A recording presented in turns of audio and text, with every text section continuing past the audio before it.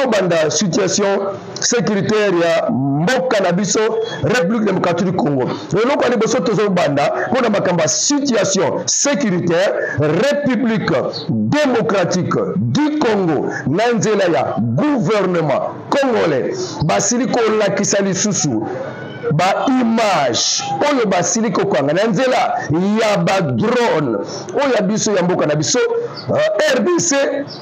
kotalisa lolenge nini barwande bakolokotaka bibembe na mboka na biso ya rdc bamemaka yango na mboka na bango ya rwanda elingi eloba nini bino bokimaka bino bowanganaka o 23 eza likambo ya bakongole bango moko biso toza kuna te me siko ntango nyonso bato bakufaka kaka botindaka bamituka eyaka kolokota bibembe mpo na nini kala mingi te soulèvement esalamaki na kati ya rwanda baparent babana baluka baparent na bango baparent baluka bana na bango bakende na kati ya bitumba bazwa bango na makasi bakota na bitumba na kati ya 23 bazolela bazorevendike mpona koloba ke bana na biso baparent na biso ndenge babungi bana motu na yo eh, euh, kagame mpo na nini parce que bayebi ke bana na bango bapara na bango bazwaka bango na makasi mpo bakotisa bango na kati ya armée rwandaise oyo ezobunda na kati ya république démocratique congo sous couvert m23 yango wana kala mingi te gouvernement congolais balakisaki bapreuve armée rwandaise ezokorenforce ba m23 mais bazondima kaka te kaka lobi bachange baloba bapare na bango bandimaka kaka bango wana sikoyo mpe lobi kaka nde makambo wana esalami baimage ya badrone mpo na kofilme barwandais mituka ya barwandais ezo kolokota bibembe na république démocratique du congo mpo na ekende kokundama kuna na kati ya rwanda balobi na journal boye que la république démocratique du congo montre de nouvelles images des militaires rwandais transportant leurs morts sur le sol congolais. Bala tala makambo wana sikoyo. Yo Rwanda omeka kobeta tembe. Non non, eza bongo te, eza bongo te. Mais ba drone elakisi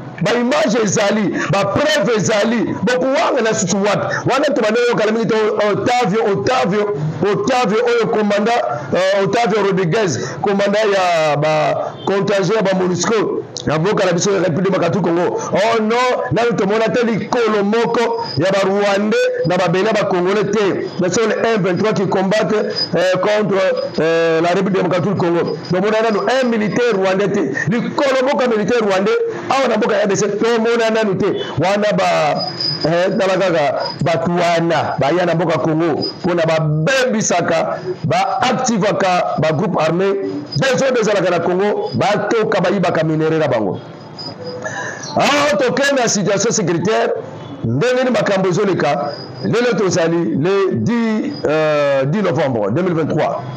liboso na bino obosani te toute la semaine totravaille te mwa bambidinga mbidinga makambo ebele me lelo tozali awa mpo na kobeta masolo mboka na biso josé matuvanga liboso na bino commune mapele mwana manianga eh, mwana manianga ata mosusu okolanda ye eh, na chaine mosusu wana kaka mwana manianga nde aza communicateur udps eh, tosenga eh, na congo eh, kuna na kati ya congo central bokotinda oyo bacommunicateur basala propagande ya chef de l'état chef de l'état ayebaka quels sont les communicateurs qui parlent na bachaine batelevizio mpona basala mosala ya propagande na ye na congo central wana oyo baza kuna biso bakolokota baleki na bango eh, bandeko na bango oyo oh, nyonso sende communicateur ya congo central kaka boye bona kaka baprofite bazoma on l'a jamais vu to on ne les a jamais vu na bateve baleka bo balobela o congo central mais omona kaka o oh, on a recruté tel communicateur na congo central eh, oh, amonaka wapi kuna na lowozi bayebi ye kuna na kasi bayebi ye kuna na kimpese kisantu mbanzangungu mayombe bayebi ete matadi bayebi ete balandaka mwana manyanga josé matuvangwa ngeitala eh, mkonza mboka ayebaka eh, ok fardc mène le jeu dans plusieurs localités ce jeudi grâce à son avion sukhoi 25 sukhoi 25 esali mosala nango lobi jeudi 9 novembre 2023 sukai 25 esali mosala wana nga nasepela ntango nayokaka banouvelle wana amonaka yango esengo eh, ona koloba ah, ye azosepela naye barwandais bazokufa kasi israel azwaka bambunda eh, bamiriam wana bana ba aron ntango bakati mai rouge bazwa bambunda te mpona babina mpo na nani nani akufi pharaon te na bamilitaire na ye akasi mpo bazalaki na mposa baboma bana israele pharaon na bapinga na ye bazalaki na mposa baboma bana israele bana israele bazalaki ya danger bamoni sikoyo pharaon yango na bamilitaire na ye bakufi na mai basepela te bato babomaka biso mikolo nyonso baobela bayoki soko soko epa abomi bango nasepela te mwana mane na ala esengo tala na kibumba le mercredi le 8 8 novembre 2023 na kibumba en tout cas sukoyo asalaki mosala na ye yave tuerie ya barwandais rdf balingaki baya kosala débordement na kibumba e na niragongo kibumba groupement territoire ya Nyiragongo,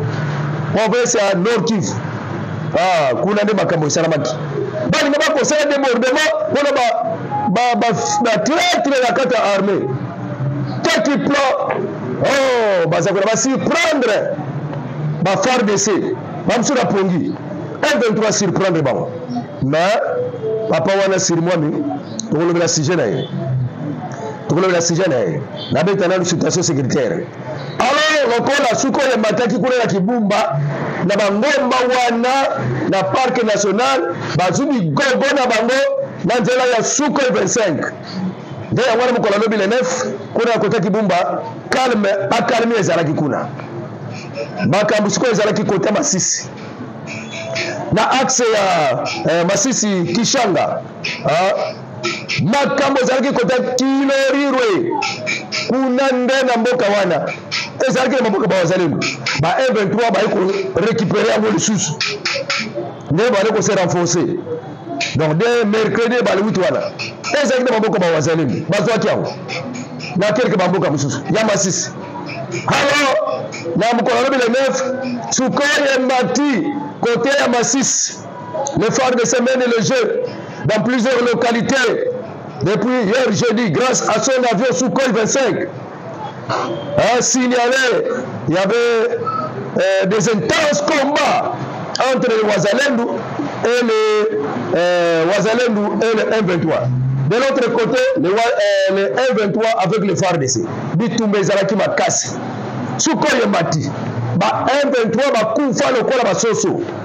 eh, yango sikoyo badrone ya gouvernement omoni barwandais nde balokota bandeko na bango komema bango na rwanda alors suko ya mati mpona koreconquérir bamboka nyonso barebele babotolaki masisi ezonga na maboko ya bawazalendo fardc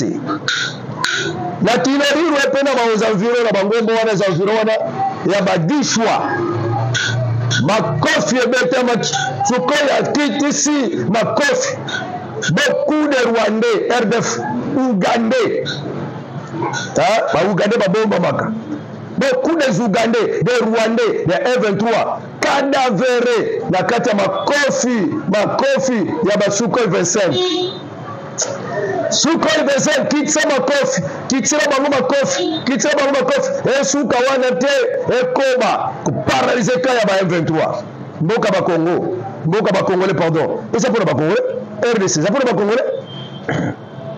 alors tolobi ke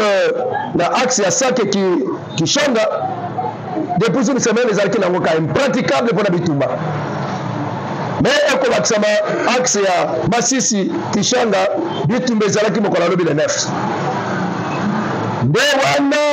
badrone emoni bitumba ndenge elekaki sikoyo ndenge abetaki ba m23 bapanzani esali esengo na population congolaise epesi courage na force terrestre abeta mpe na sese kosala ratissage bamboka kilerure aux environs lokola bamboka nini kausa muyange nturo bamboka wana nyonso na bangomba ya gishwa frappe esalamaki ratissage esalamaki ti lelo tozela uh, confirmation toyeba nani azokokipe mboka mais du moins ndenge na ndenge tolamukelaki na ntongo oyo toyoki na na ntongo ya lelo toyoki nanu te rapport ya kuna oyo nazopesa oyo tolalelaki nango bitumba ezalaki intense lobi on n'avait pas encore donné qui contrôle alors mais il y avait des intenses combats na bakote wana toleki na mwa entre parenthèse avant tokende kokota makambo mosusu 5600 engins mpe baéquipement mpo na koréhabilite banzela koentretenir banzela gouvernement asili koyamba yango deja euti bamboka ya bamindele mpo na kosala mosala dada le 26 ya bidimbu papa faci beton avant 20 décembre 2023 il faut banzela ebetama dada ya ntango natalaki kote ya saint thérèse déjà ya société moko eza engage mpo na kobanda deja banzela wana mais balumbangu esalama parce que basociété oyo bapesaka misala ere moko basalaka makambo na malembe malembe ntango mpe ekoki ya baélection basili mosala te mais suivi fo ezala babeta mosala mbangu mbangu mpo na lokumu ya papa faci beton toleki na membre moko ya gouvernement aza contre arrestation ya journaliste bujakera c'est vital camere vital camere condamne l'arrestation du journaliste d'après lui professionnel bujakera azalaki na kati ya amerika asalaki mwa mobembo na ye na kati ya new york azalaki na conférence de presse kamere azoloba nini mpona bondeko na bango na papa président félix sekedi kuna alobi ke moi je suis façonné par le chef de l'état président félix tshisekedi ye nde moto asala ngai ah, wana azo reconnaître aleki mpo wana batuni mpo ya kokangama ya journaliste euh, bujakera mokonzi ya mboka ntango batunaki ekesio wana ye alobaki ke bujakera wi aza journaliste moko ya malamu asalaka mosala na ye malamu me mpo na oyo etali makambo bakangeli ye ngai nakokota kuna te Je ne, je n'ai rien à dire pour Bisso Justice eza indépendante. Donc je ne peux pas entrer dans ma kamba justice na loba un mot ou bien na longola un mot ou bien na bakisa un mot na pesa avis na ngai na pesa opinion na ngai mpona makambo wana eloko nayebi a journaliste ya malamu asalaka mosala na ye malamu me na oyo eyeli ye aa na eloko akotia kuna te na na bikoma ya kotia te je ne pas de commentaire à faire sur cette situation ya bujakera donc euh, pas de commentaire pour le président mais pour Vital Kamere. Yoka commentaire ya Vital Kamere sur la situation ya Boujakera. Vital Kamere déclare la justice congolaise a arrêté un journaliste professionnel et espère sa libération avant les élections de décembre 2023. Wana Kamere a déclaré kobima ya Boujaker en tant que journaliste professionnel abima na boloko ah Kamerhe est ministre dans le gouvernement. Institution, yo oza nango eza institution euh, ya kokamba institution justice mpe ezali parlement mpe azali nyonso wana pouvoir eza Partager pouvoir exécutif, pouvoir judiciaire, pouvoir parlementaire, mpe biso toa quatrième pouvoir biso tozo kolobaka na kati ya bamedia toa quatrième pouvoir na yango wana lelo nazopesa déclaration epesi nga mpasi esali nga mpasi un ministre pouvoir exécutif ye atelemela badecision ya pouvoir judiciaire oyo eza indépendante pouvoir judiciaire en tout cas eloko moko ezocloche te d'après baanalyse na ngai kamere condamne l'arrestation ya bujakera et déclare sa liberation avant de, euh, élection ya décembre 2023 or soki nako korapele balandi ya chaîne top info 24 na émission ya mwana manianga narapele bino mpo na nini bujakera akangama na justice congolaise ye Bujakera azalaka soupçonné d'avoir fabriqué un document pour incriminer les services de renseignement militaire na biso tobengi DEMIAP. Kuna na kati ya document wana babanda kolobela te demiap nde aza auteur ya assassina ya depute sheribe okende dokima wana ye alobaki ke euti na aner depuis aza na kati ya aner akoki kodemontre te dokima wana aner nini moto apesaki ye dokima wana nde na yango wana lokola akoki kodemontre te aner nini yango bakangaki ye Mais kokamwa Vital Kamerhe na New York azo condamner justice congolaise moto akangi Vital Kame, eh, moto akangi Mujakera mpo na kiprofessionnalisme na ye babimisa ye ngai nakomi kodute na papa okamere en tout cas eza impossible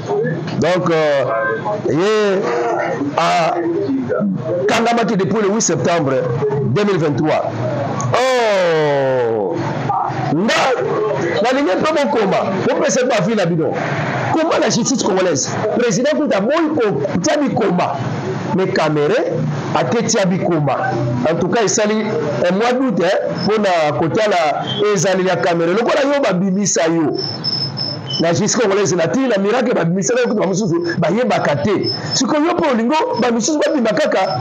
tala kaka eza dossier moko très sensible eh? ye afonde document apesi yango na rfi apesi yango na jeune afrique jeune afrique apiblie rfi apiblie na monde entier ke euh, demepe na biso moto abomisi cheribe okende est ce que eza lokumu ya mboka to eza kolongola lokumu ya mboka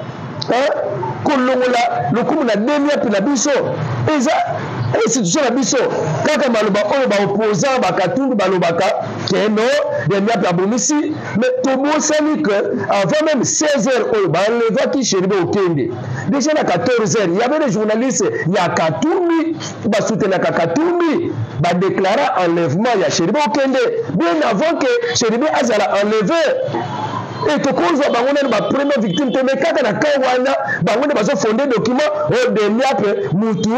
asili kobomisa euh, cheribo okende tala sikoyo makambo esalamaki lobi avocat moko belge ya famille ya cheribe okende ake porte plainte epai ya représentant euh, chef ya demiap monsieur christian ndaiwel ba porte plainte na justice ya belgique mpo na nini ye aza auteur ya liboso ya liwa ya sheribe okende esali ndenge nini a partir ya dokima wana sikoyo toza deja na service mobimba etalaka makambo wana ezolandela nani bapesi biso repose te mpo na koloba nani abomaki sheribe okende mais deja bango babandi koporte plainte ke celui celui na justice belge Et pourtant que tango ye bakangaki ye, ce sont les Belges, la communauté internationale babimaki lokola avocat ya journaliste oyo. Ça veut dire quoi? Nani apubliaki ba biloko nyonso wana ke Demia moto abomisaki biloko wana, fallait ye moko apublie yango awa. Mais apesi yango kuna, bapublie na Jeune Afrique, bapublie na RFI. Mpo na ko disqualifier mboka na biso, bato wana nyonso balingaka chef de l'État to le chef de, de l'État président Félix Tshisekedi, balingi kolati babere wana. mboka eza forfait na bango moko basala alors toyebaka complot communauté international aza nango mpo na mboka na biso alors kamere azokende mpo na koloba ke moto wana abima complicité ya communauté international ye alati alati yango donc il est pour que ye moto aboma il est pour que eh, rapport oyo eh, bujakere apesa eza ya solo donc voilà analyse na ngai EAC ba mettre en garde ba M23 euh, e EAC ya ba Burundais ba mettre en garde M23 azo kofundaka bango ke bango bazo kopesaka simbisi na eh, FARDC bazo kopesaka simbisi na ba wazalendo baobundisa ba M23 na ye tokangi quelque ba Burundais na kati ya bitumba wana ba accusation ya Rwanda accusation ya ba M23 biloko wana nde esepelisi baburunde te mpo batumbaki mboka na bango eh, ka na bango ya kishanga batumbaki yango na ba m23 bakimaki na bamboka mosusu contingent ya baburunde balobi tofunda makambo wana deja na coordination na biso oyo ya eh, mboka ya eh, kenya mais baboyi kolanda pour dire que bazo rejete biso bazokipe yango te bazobafue yango bazonéglige yango yango biso tozala biso près ya koyeba koaffronte ba 123 awa na mboka ya république démocratique du congo wana nde na rapport na bango basalaki mokolo alobi ke toza na kati ya makambo ya bitumba te tokoti mpe bitumba te me biso toza wana mpo na kolanda principe na biso ordre manda na biso ndenge ezali eza te toya kokota nsima ya ba M23 mpona tobundisa FARDC te mais toya na manda oyo tozosalela yango nde manda na biso lokola bango ba M23 bazomona biso te tozofavorize bango te tozofavorize bango te mpona bayeba na kopesa autorisation tokota na bisika bango bazali ndenge bazopesa bango autorisation epa ba ougandais na bandeko oyo ya basud sudanais na bakenya balingi mpe ke baburundais euh, bapesa bango passage babetaka ba fardc babetaka bawazalino mais baburundais balobi euh, nde bapeselaka bango nzela te nde kanda ba 1 23 contre baburundais en tout cas baburundais baza deja pre sikoyo mpo na kobunda bitumba na ba 1 23 alors toyebi biloko nyonso wana na kibarizo camp ya ba burundais ezalaki incendie maison ya ba munition incendie me ba eventure bazokosela ba burundais o oh, avant babima bango moko batumbaki nano ka na bango batumbaki ndako na bango ya ebobaka masasi nzoka ba eventure baza mpenza bato moko batondisami na lokuta ya kobambela baninga bere lieutenant général fale sikabwe oyo azwi commandement ya baopération militaire na kivu en remplacement ya peter sirimwami mpo na kitretrisme na ye te bya fardc ekomi na ba 123 bamunition bapa mokonzi ya sombi ekomi na ba 123 ah me moto akosala bolamu ndenge nini okoma kutu wana na kiguvernere yango donc toyebi kutu na quelle magie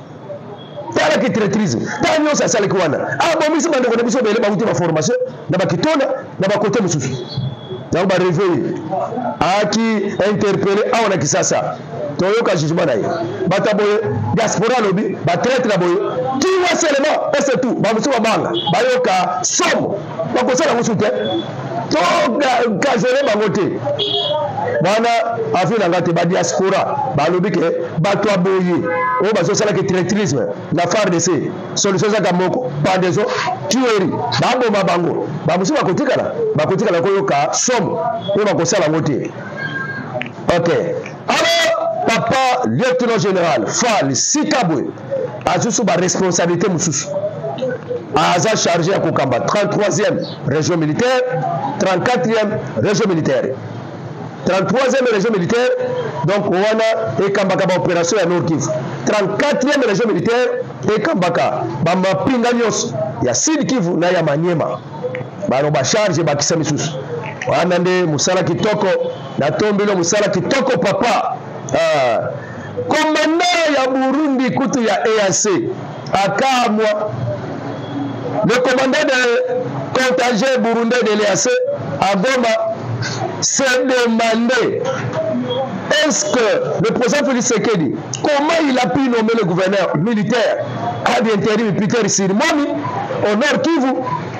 qui se familiarise avec ses collègues le M23 wana komanda ya contingent ba burundais ya EAC akamwe me eloko nini wana eplikaki yo papa oyo nobe moto aboye atambolaka ah, vandaka aliaka alalaka elongo na ba M23 le candidat Mukwege dans un message euh, estime que la relation entre euh, la RDC et le Rwanda Euh, dans le monde des business est très avancée, très poussée. Et Mukwege souhaite que Eh, cette question soit étudiée avec transparence. Le Rwanda restera notre voisin, pas notre ennemi. Il faut plus de transparence dans nos relations entre Luanda et la RDC, une relation de business très poussée. Il est possible de créer un climat où les business permettront à tout le monde en RDC de gagner le prix de la sueur. Ah, mukwege alobi relation na biso na rwanda etikala bongo baba ami na biso baba endemi te etikala bongo toza na bango na relation ya business relation ya babusiness toza na bango na bango ah, yango wana babaami tokoboma bondeko wana te tokoboma barelation wana te dayere eza barelation ya koetilia makasi parce que barelation moko eza trop avancé trop poussé yango wana esengeli kutu bandeko ebele na rdc baviva nanu te basepela nanu te na barelation wana ya babusiness esengeli moto nyonso na rdc avivre eh, aganye ya baprix ya motoki na biso ah mokweki relation nini wana business nini wana ozolobela biso ya rwanda ndenge abomaka bakongole business yango wana ya rwanda ndenge abomaka bakongole Hein, business yango wana ok ok merci beaucoup eh, tokokoma na biso na suka eh, tokokoma na biso na suka business oyo mokwege alobeli toza na mposa toyeba yango eza business nini oyo ezokolobela bango ke baza baami baennemi te eh, babomaka na bango donc babomi na bango problème eza te ce sont nos amis tokoboma bondeko wana te en tout cas boyebaka bacandidat déjà oyo bazaki baza suspect na mboka na biso peuple démocratique du congo basénateur américain kutu balobi eh, président félix sekedi yebisa seni na yo affiche baliste eh, bureau par bureau soki te eza fraude bozobongisa basénateur américain eh, biso tokosala yango mpo na amérique nyonso wana complice baboyi président félix sekedi parce que aza mpo na bango blocage na baintérêt na bango bango balingi baguerre ezala Mukwege, musala ya kobongisa banzoto basi etiki basi bazoviole su te yango akomi kokimela na politike misala na ye akomi chomere bokosebela bokonza mboka te président félix sekedi en tout cas je suis à la fin de mon émission de cette euh, journée euh, mbote mbote na ngai ebele epai ya euh, matata mpone oyo bakosambisa ye le 13 novembre 13 novembre alaba matata mpono fo kende alaba le 13 novembre oyo fo kaka osamba mpo na na gobler christo de grace ya mutombo bango nyonso wana fo basamba ok il faut nzambe asunga kongo mpo tokende liboso vraiment merci beaucoup balandi ya chaîne ba kala uh, masolo na kala me ekoma yango baba ndebenga bakoma masolo na kala me sikoyo ekoma top info 24 Blinken azwaki masolo na Kagame, azwi masolo na president Felix Tshisekedi. Chef de euh, secrétaire d'État américain ayebisi Rwanda azala médiateur entre dialogue na RDC na M23. Congo alobi ekosimba te. Pour les Kabila Boulukaka, Bamasolo, dialogue, comment, pourquoi ne pas attirer aussi le dialogue entre terroristes Hamas et Israël kaka biso terroriste azoboma biso to dialogue na ye po to dialogue nini po bokotaka so bango na kati ya gouvernement po bakota na kati ya fardc ekosimba te nzambe ayeba na kosunga rdc mpenza dialogue esala masusu te dialogue ya 1 plus 4 esala eloko te bobimisi oyo rebelio mosusu eh, ya cndp na 2009 bosali so boyokani dialogue esalama esimbi te babimisi oyo rebelio mosusu ya 123 2013 dialogue mosusu esalami nyonso nekotisaka barwande na mboka pour quel but balkanisation ya mbala oyo président félix batombokisi batombokisi guerre mpo na kobundisa ye ba m23 mpo na nini oh non respect les accords ya 2013 kaka boye mpo na batondisaka kaka gouvernement congo na ba m23 onana aloba fardc tondre barwandais nde échec ya bacongolais bakoki kobundisa rwanda mboka moke boye te parce que la république démocratique du congo kuna nde rwandais na kati ya fardc ya kosala tobimisa barwandais oyo baya na nzela mixage na nzela baccord